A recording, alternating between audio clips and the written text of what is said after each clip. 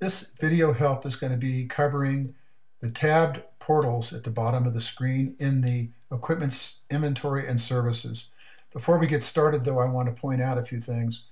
For example, there is a menu options at the top of the screen that were, are used in the cloud.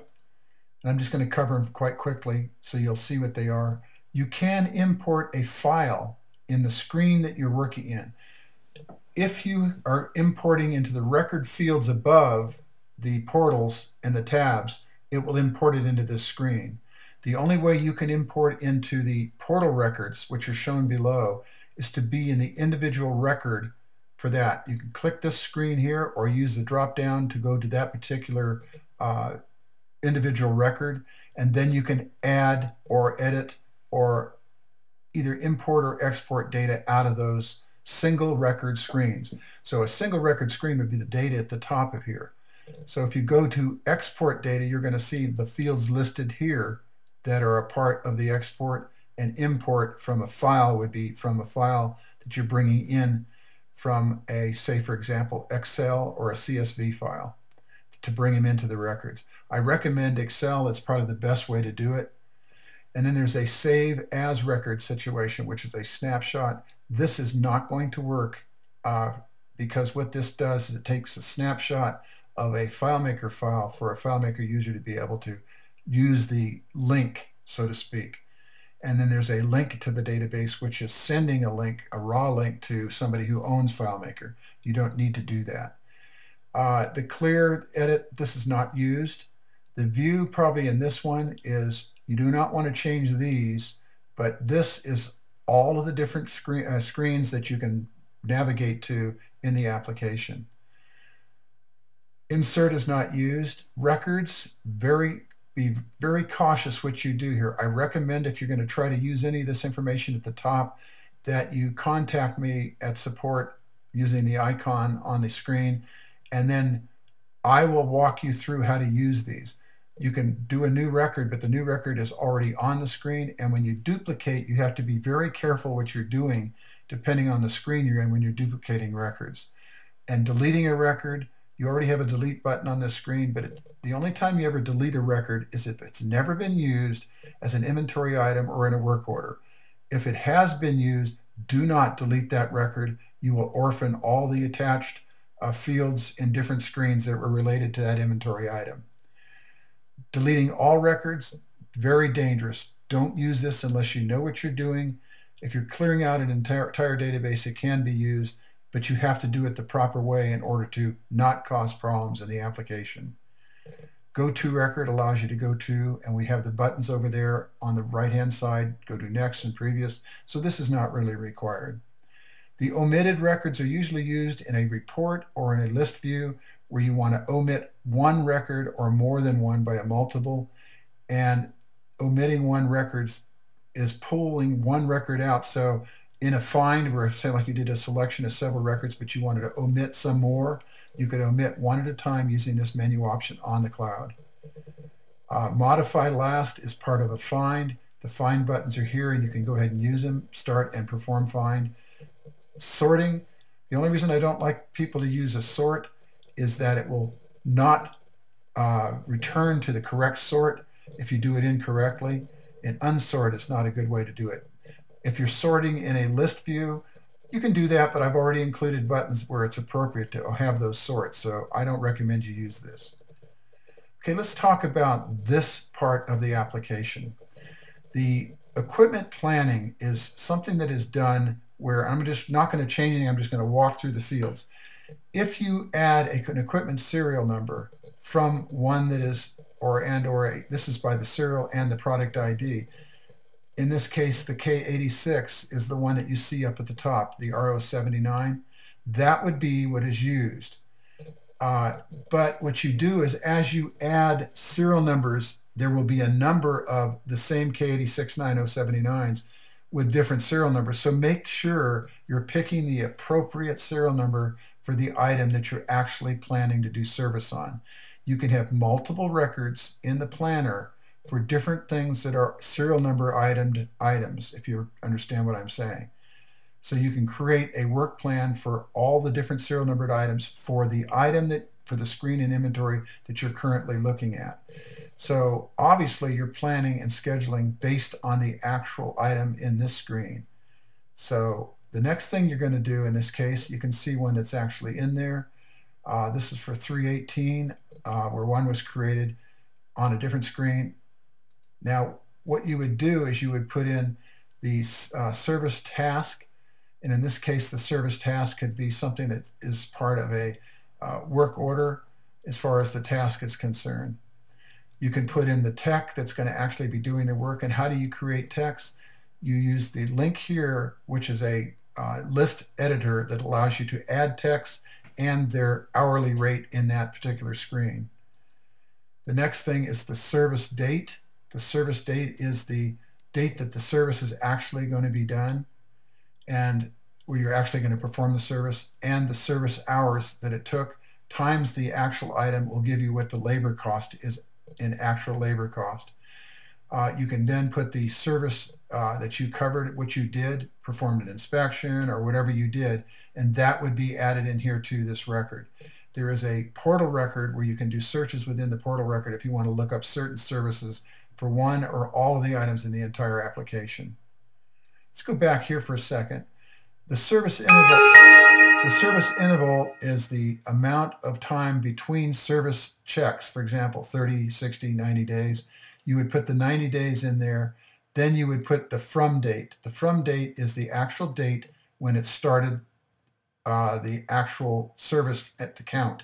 So if it's 90 days and you want the 90 days to start on the 26th, you would put that in there. And then what it'll do is it'll calculate the next date that the service will be uh, supposed to be performed. And then the service types are the service types like repair and so forth, and unscheduled and scheduled maintenance. You can edit that again by adding whatever you need to in the service type uh, list where you can edit it.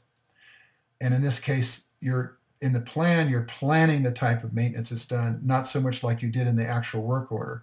When you create this line and you go to this screen, you're going to see where it's going to add the actual date along with the invoice, uh, the in, the item that you put in here. So uh, you want to go ahead and make sure that you get the dates and everything correct over here as far as the next service date. You create normally this record on the date that you're actually doing the service, which would be the 318 that we planned on the other screen. There is also a tab in here where you can do the service materials that were actually being added in this screen. And what this is, you pick the service kind of equipment like we did at the top again, then this date for the service that when you did it, then you would add in the uh, the kind of uh, used items on the service.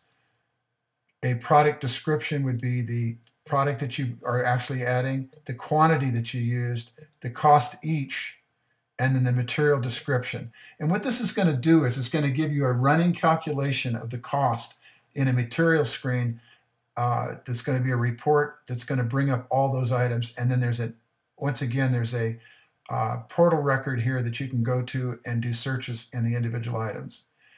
Okay, for that's for the service materials that were used in consumption as you do an actual task that are not part of the actual inventory that you're using. So these are items that are consumables that you're going to use in the process of doing the work. Now it's your option to use this screen and not, or not if you want to. Let's look at the invoice history screen. The invoice history screen is the screen that will show if you have done service on a item or done an invoice, the invoice data will be shown in this screen. Let's pop through a couple records and see if we can come up one that actually has something in there. Go. There's one right there. So here's one that was done on the date of uh, March the 20th of 214. We use the drop-down list in the invoice to add this information in here. You do not do it from here. This is just where you can read and check stuff to make sure it's done properly. You have the equipment will drop in the item within the invoice and put it right over here. The cost each is the cost that you're actually using. If there's a standard price that you're using, there will be a standard price that will appear on the invoice, and you would go ahead and put that in there. When you do that, it will automatically calculate based on that standard price. So it's important to have a standard price in anything that you're going to be selling on retail. And that needs to be added in the inventory record. the quantity that you used. The standard price will, when you click it up here and put it in here, it'll automatically drop it in here and also on the invoice when you want to use it on the invoice. If there was a reason where you needed to use a discount, well, it would be on the invoice and here where it would show up. And then the subtotal would be calculated based on the quantity and cost that you're selling the item for. If you tax the item, you would put in it, there's a, a drop down list that you can edit where you can put in the tax rate that's appropriate for what you're selling, and it'll calculate the actual tax, and then the line total will be calculated. And then there's a notes field here that has certain different things that how the actual item was uh, sold. And this is actually done on the invoice screen. Now, the main reason that we're doing this or having this in here is as you invoice stuff, it'll give you account amount and it'll summarize the actual items for this particular item in this screen since these are only entered on the invoice and then are only shown for the item that was on the invoice line item for the record in inventory.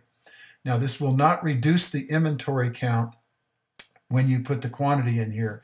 The only place that that is done is in the uh, work order form, which is a part of when you invoice, it'll uh, show it. Now you can do a work order and take the items out of invoice, uh, out of the uh, stock inventory but you don't have to do an invoice if your business business does not do invoices.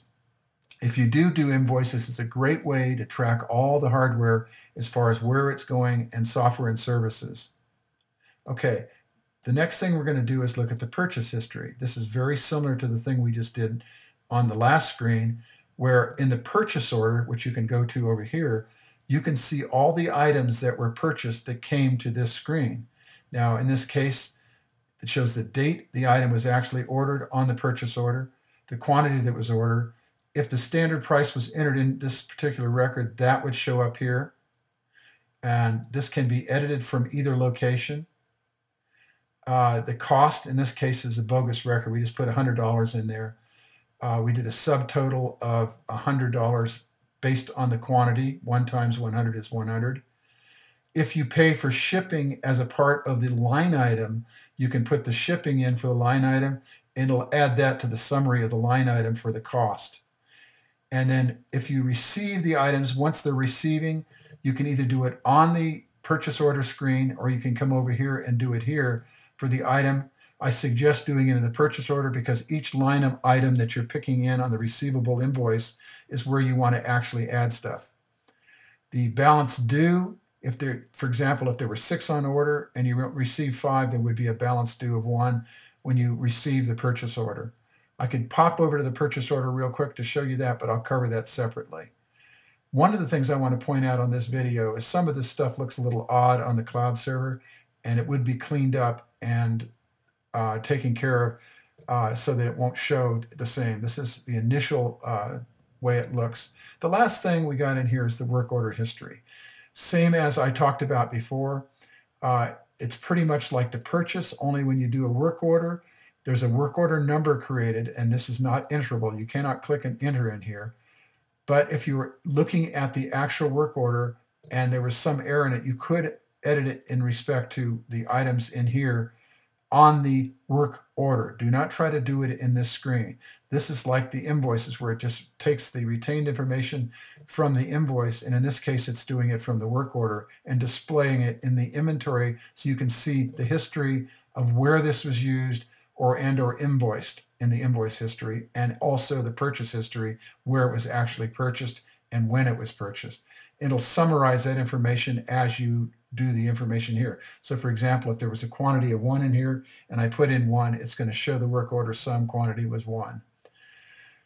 The serial number is created in this stock serial number listing. So if it affects the item as to the one that is actually being the actual current uh, serial number, and say, for example, you're going to trade this out on the work order, well, within the work order, if you have listed the serial numbers in the stock serials, it will be on this list to replace it. So for, say, for example, this was a serialized item. The micron filter had a serial number on it. You could see it in this particular screen here where all the items were listed. Clicking out of this will hide this. And what you're going to do when you hide that is you're going to go ahead and look down here to see if there is another serial number that you're going to replace it from. Now, obviously, this one is the K07 007 one. So what we'd want to do is we'd want to look for the K007 uh, stock item, which is this one right here. Now, if you had multiple uh, items in there with different uh, serial numbers on them, you would pick the appropriate one to replace the one that's in there now. So for example, if this is 133 something, and I had another one in inventory that I'm actually holding in my hand and I know the serial number of it, within the work order, I would do the drop down there to replace, show the new serial number that's in there. This is a installed status field and it's done within the work order where as you change the status in the work order update here. And the same thing on the service pending or status there it will automatically change it within the work order. Let's pop over and look at that so you can see what I'm actually talking about. Let's go into the work order where it actually has some information in it.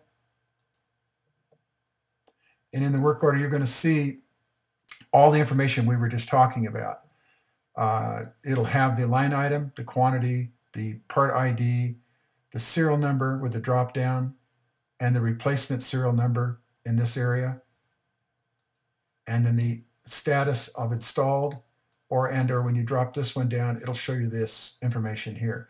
Now on the cloud right now, this particular uh, work order is kind of shrouded with the wrong colors, and it will be updated so it'll look it'll have a white background and black text on it.